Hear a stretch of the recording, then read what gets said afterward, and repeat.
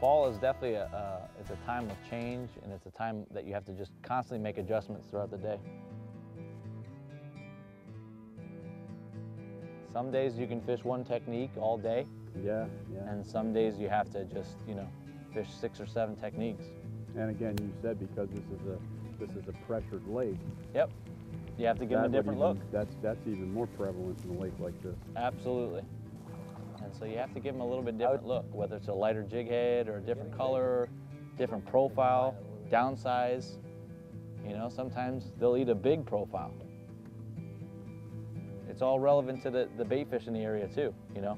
The best thing is like when you can catch one and it spits up a, a fresh bait fish. I mean, then you can really dial in That's always it's always a big help. to the size.